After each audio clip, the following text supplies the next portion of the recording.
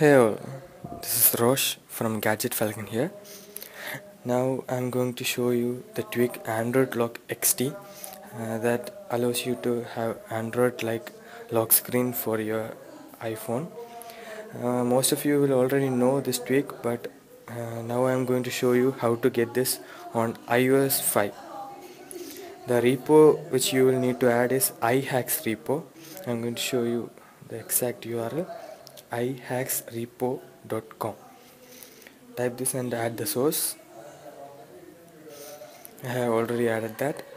Once you have added then go to search and type in android without space lock spacebar xt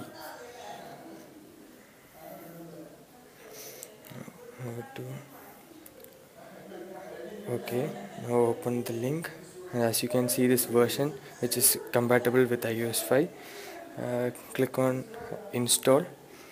Once it's done you can respring. After respringing you uh, can go to settings and open the Android Lock XT okay. Open Android Lock XT and enable it. And uh, you can change the pattern once you have opened that this was the pattern which I already used. I am going to change it to 7 shape. As you can see the new lock has been uh, uh, it also gives many other options as you can see here different themes and appearances.